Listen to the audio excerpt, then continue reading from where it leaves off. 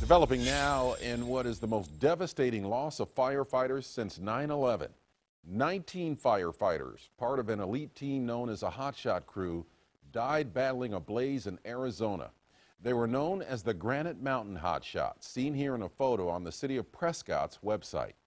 It's not immediately clear how they died, but a member of the Arizona Forestry Commission spoke to CNN about the types of situation these crews deal with and what may have happened what sometimes happens uh, if you get a real big wind event or something, all of a sudden the fire blows up and you go to your safety zone and it's not big enough.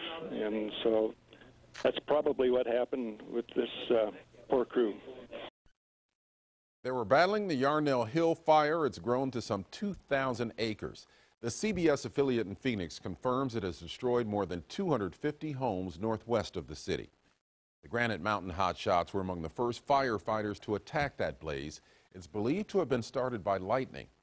Not counting these 19 deaths, the U.S. Fire Administration says there have already been 43 firefighter fatalities reported in 2013 so far.